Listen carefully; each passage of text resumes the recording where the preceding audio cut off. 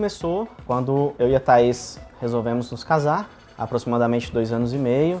Ela veio para Brasília já morar comigo. Eu propus para ela embarcar nesse sonho comigo de abrir um negócio próprio. E desde então a gente começou a sonhar junto em ter um negócio, o que seria, como seria. E nas andanças dela de Brasília, nas primeiras semanas, ela foi numa esmalteria, encantou com a proposta, encantou com o conceito. Então vamos abrir uma franquia, porque é, o entendimento de franquia é que ele já te dá um suporte inicial muito bacana. Dos pilares empresariais que a gente tem, marketing operacional e financeiro, ele já te dá um gancho e um ganho bem legal no, no, na questão do marketing, um pouco do operacional.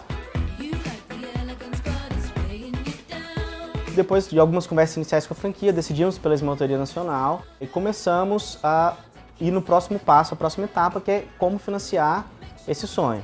E aí buscamos vários bancos é, para analisar e pelo meu bom relacionamento com a Caixa de vários anos, é, a Caixa realmente teve a melhor taxa de juros, o melhor prazo para pagar.